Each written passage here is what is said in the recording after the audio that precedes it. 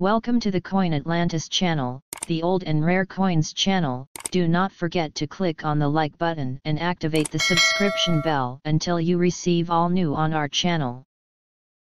1964 Nickel Value Guides, Rare Errors, D, and No Mint Mark. A nickel is a 5 cent US coin coated with nickel that's how it got its nickname.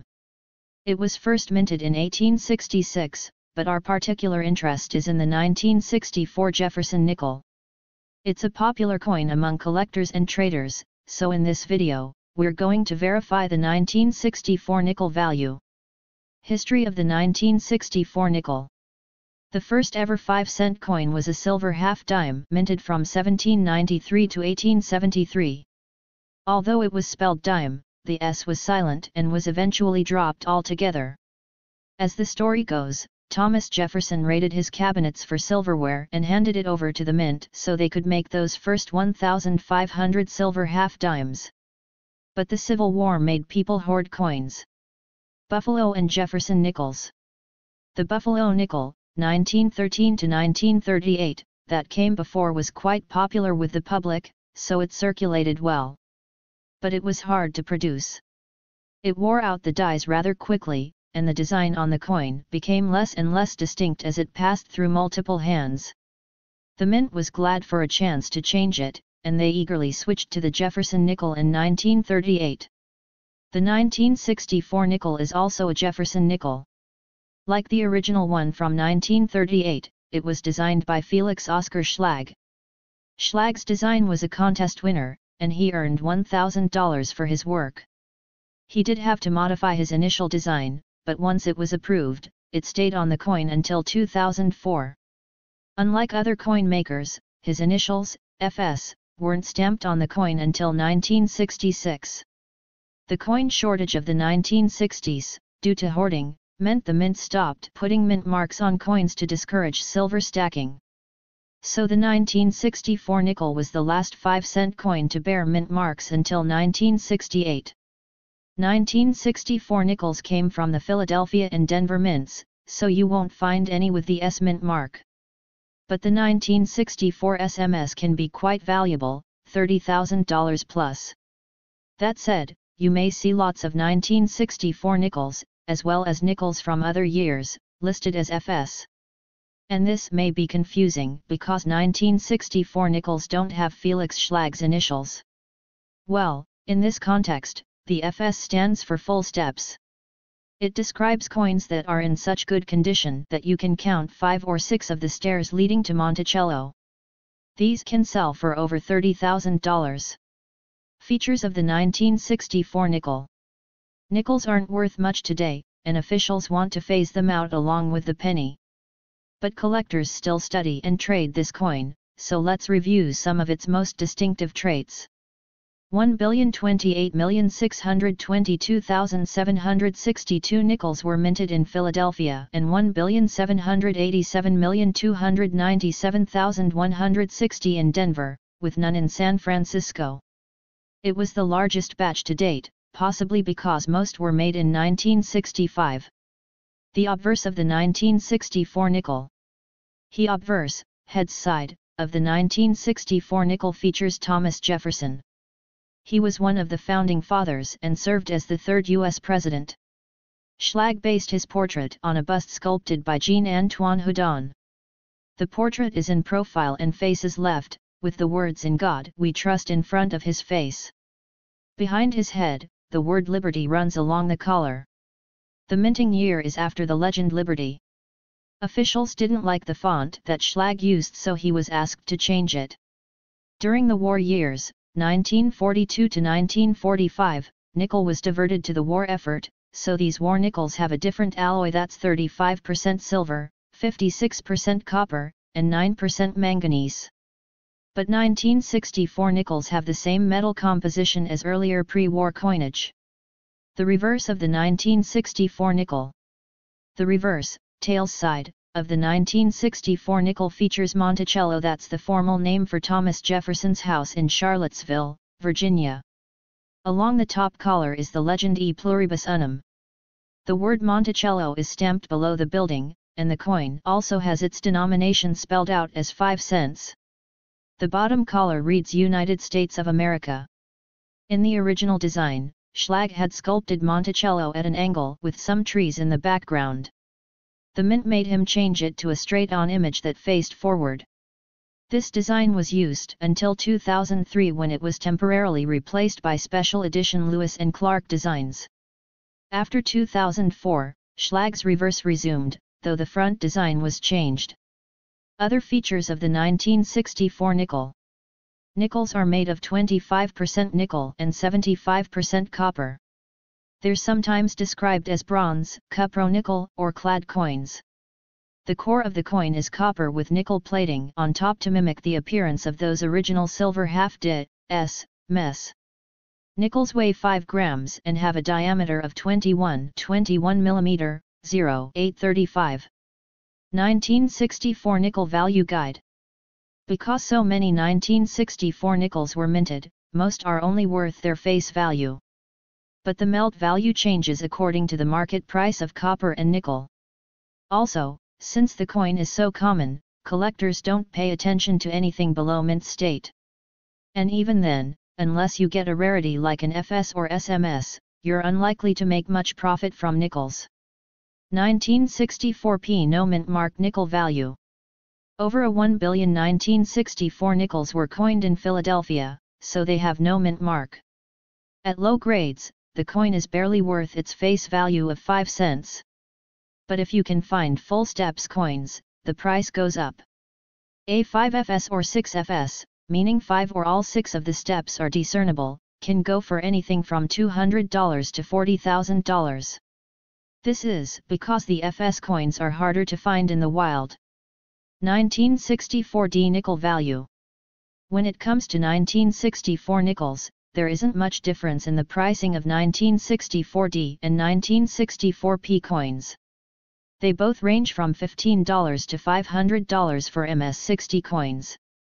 In 5FS or 6FS, a 1964D nickel can sell for $20 to $6,250.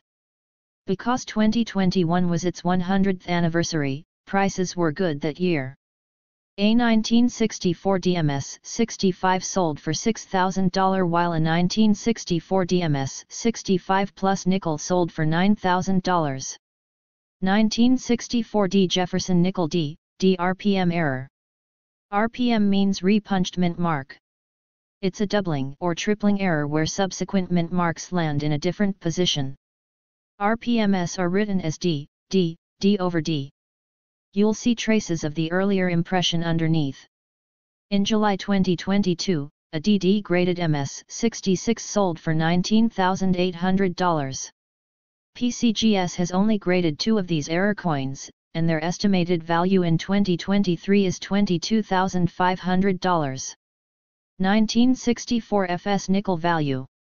According to PCGS, they sold two specimens of 1964 FS nickels back in 2019. One sold for $9,400 in May, and the second sold for $8,519 in September, so the price is coming down. Further back in 2014, a 1964 FSMS 67 nickel went for $14,100. PCGS quoted their value at $17,625 in 2016, though it was an anniversary year. In April 2022 they sold one for $22,800. 1964 SMS nickel value. If you can find one that's part of an SMS, Special Mint Set aka Special Strike, you can get over $30,000, since only a dozen or two are known to exist. Full step specimens can sell for even more. Steve Strom's 1964 SMS SP68 was sold for $32,900 in 2016. Earlier, in 2009, that exact same coin sold for $8,625. A nickel in a similar grade went for $31,200 in 2021. Coins with errors can sometimes fetch better prices than flawless coins. But this depends on the type of error. FAQs about the 1964 nickel. How much is a 1964 nickel worth now? Most 1964 nickels are only worth face value at 5 cents. Uncirculated ones can hit around $200 to $300. But as we saw earlier, a 1964 SMS SP68 nickel sold for over $30,000 in 2021. How can you tell a 1964 special strike nickel? A special strike isn't a circulated coin or a designated proof, but it often has the sharpness and definition of a proof coin. The angle of the edge is distinct, the features are well defined, and the surface has a satin finish. Only 12 to 24 of these coins have popped in public spaces. What does SMS mean for 1964 nickels? In other denominations, SMS means special mint set.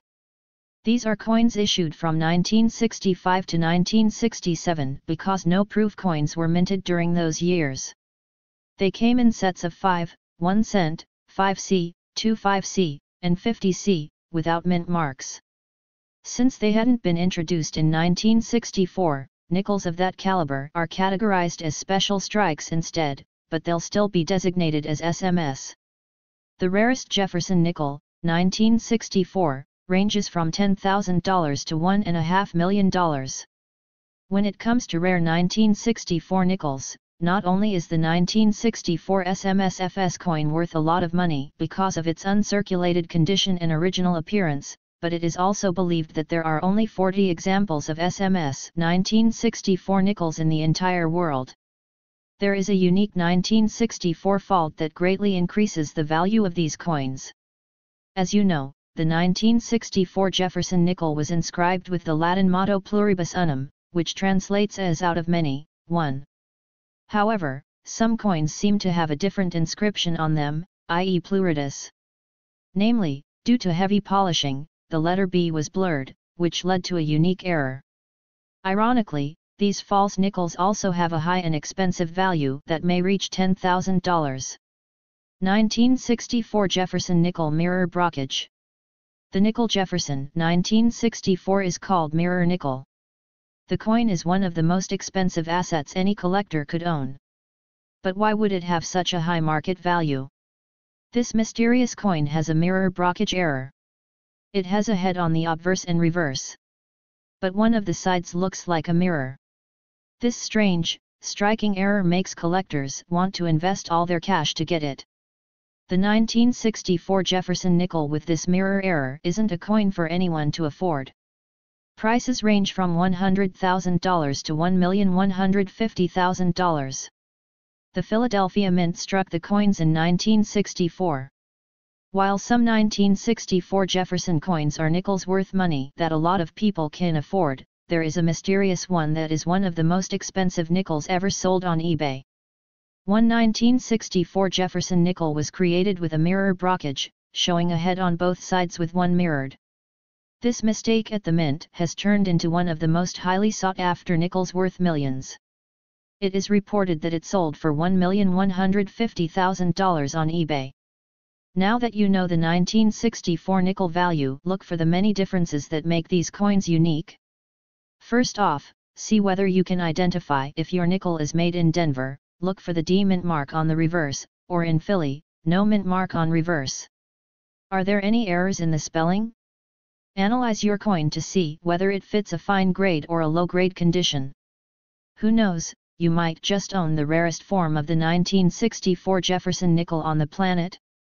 FAQs How do I know if my 1964 nickel is worth anything? To determine the coin's value, look for the following.